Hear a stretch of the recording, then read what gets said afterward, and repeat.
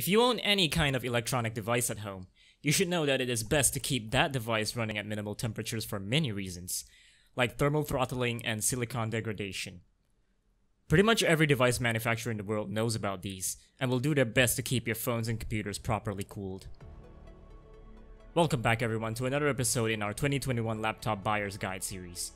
Today, we'll be talking about how laptop airflow works in terms of design as well as what benefits can an elevated work surface and external cooling fans provide to your laptop.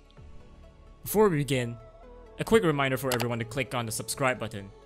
It's free and it really helps what we're doing, and while you're at it, give us a like because it keeps us motivated to make more content like these. Alright, let's start with what's probably the bread and butter of this video, laptop design. Now good airflow is important to any machine, but more so laptops as by design, they are made to be compact and portable. Now for most office laptops, they come with a design like this. The way this design works is that colder air from the outside gets sucked into the laptop and into the components, whereas the heat generated by the laptop's components are blown out of the laptop by a fan. This is one of the more common airflow design, especially for most office laptops, MacBooks included by the way. And for the most parts, it's more than efficient for these types of laptops, where the users are not expected to perform resource-demanding tasks. With that said, there are laptops that have different way of conducting airflow, and that is with heat pipes. Now, heat pipes are normally used in gaming laptops, as the components used in gaming laptops produce a lot of heat. So the heat pipes are required to ensure that your laptop doesn't rival the heat coming from the roof of your car after leaving it parked under the sun for one afternoon. Well, how does it work? Well, it's a bit more complicated than the former method, but to keep it simple, heat gets absorbed from key components like the CPU and the GPU, then the heat gets exchanged with cold air going through a process called heat transfer, then the remaining heat gets dispersed outside the laptop. If you're interested in what this looks like, we will leave a video in the description showcasing what this process looks like in a simulation. Now that we talked about laptop design, let's go over external cooling solutions. External cooling solutions include cooling pads, vacuum coolers, and a stand to elevate your laptop. Cooling pad or cooling fans are one of the most common and most popular among these external devices. The principle behind them is simple. The pad takes in cool air from under and blows it right into your laptop. Since the pad is usually a porous surface and there's constant airflow created by the fans, there should be much less of a heat trapping effect. This in theory should help keep your laptop a few degrees cooler. The same concept is used with the stand, just without the fan. Lastly, vacuum coolers. Basically, they get positioned around the area where heat exits the device, and they help suck the hot air out of the system. Well, that covers external cooling method. Now let's go over some internal ones.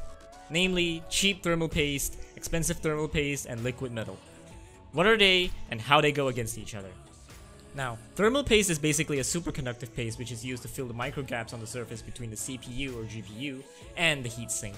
Since air is an insulator, it reduces the ability for heat to transfer efficiently between the CPU or GPU and its heatsink. There are a few different types of thermal paste, silicon-based, ceramic-based, and metal-based. Metal is the most effective one out of the three, however, it is also electrically conductive, which means that if too much of it is applied, its excess would come into contact with the motherboard and cause short-circuiting. Liquid metal works the same way as a metallic thermal paste would, but the difference lies in its composition and properties. Here's a bit of science knowledge for you. According to Tech Walls, the main component of liquid metal is gallium.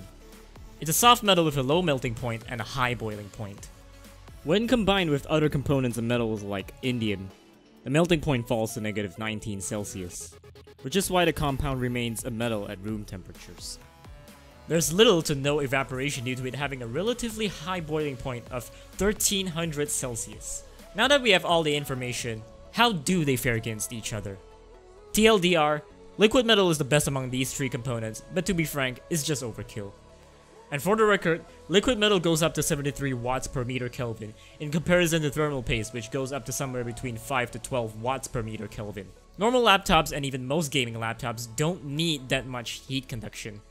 As for thermal paste, you can probably guess that the more expensive the thermal paste is, the better it is. But again, for conventional use, the cheaper alternative is probably just fine, even if it doesn't provide the most optimal of temperatures. There's an interesting video made by Benchmark, where they compare the difference between a cheap thermal paste, an expensive thermal paste, and toothpaste? The video will be in the description for you to check out, and no, we don't recommend you using Colgate as a replacement for thermal paste. And that's all there is for today. If you've learned something from this video, leave a like, subscribe for more content like this, and leave a comment on what you think about the video. For a deep dive on what we think makes a good laptop, you can check out the rest of our 2021 Laptop Buyer's Guide series. Stay home, stay safe, and we will see you in the next video.